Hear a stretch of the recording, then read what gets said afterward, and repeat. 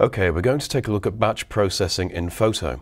So batch processing is accessed from the File menu, and then we choose New Batch Job here. So the layout is fairly straightforward.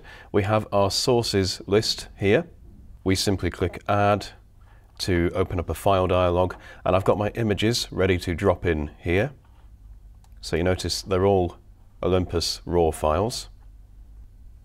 So now it's finished generating the thumbnails for each image, we can look at some of these options.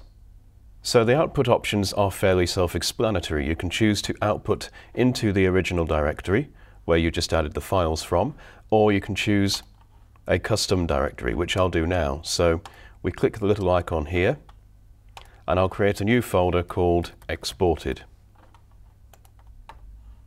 And choose OK. So that will now save the output files into a new folder. Now then, we have a small selection of formats here that we can choose to output to.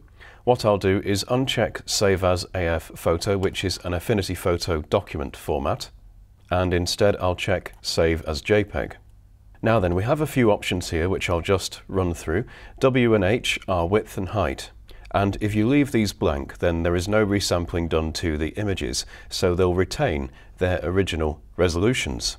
However, for this purpose, I'm going to put 2560 into both width and height. Now, as long as I keep this option checked, which is maintain aspect ratio, what Photo will do is resize to 2560 on the longest length. So you'll notice here I've got a mixture of portrait and landscape imagery. So that means with landscape images, the width will be resized to 2560 pixels, and it will work out what the height should be based on the aspect ratio of the image. And then with the portrait imagery down here, the height or vertical resolution will become 2560 and the appropriate width will be calculated. So then we also have some more options on the flyout here. Some of them are specific to the format you choose. So if I click the flyout for the PNG, for example, we've got some specific PNG export options here. So I'll go back to the JPEG one for now. Now then, as we're resampling the image, we could also choose a sharper resampling method. So I'll go for Lanczos 3 separable. And we also have options regarding the JPEG encoding quality, and also we can choose whether or not to encode progressively. So that takes care of those settings. Now the other really nifty thing we can do with batch jobs is apply macros en masse to all the images. So if you want to know how to actually record and apply macros, it's worth watching the videos specifically on that. But if you had, say, a series of custom macros that you've tailored to your imagery, you can basically apply those macros by selecting them from the category here, clicking apply, and they'll move across into the applied macros list.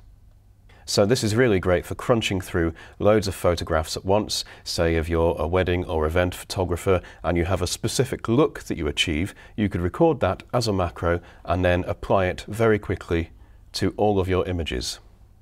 So equally, we can remove macros if we decide we don't want them. For this purpose, I'm going to choose Flip Horizontal.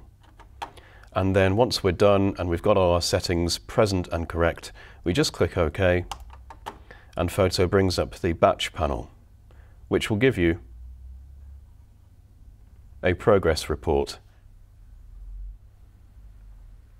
Okay, so the batch window then disappears once all the files have been processed.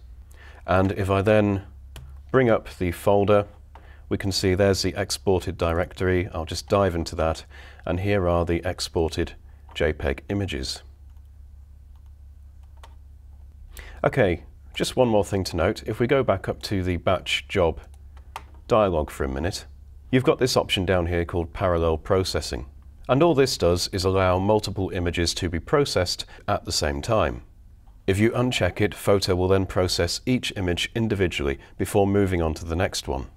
So the only reasons you might really want to uncheck this are either if you're on some very old computer architecture that doesn't handle multiple threading very well, or if you have a lot of other software and tasks running in the background and you find your computer is a bit resource starved.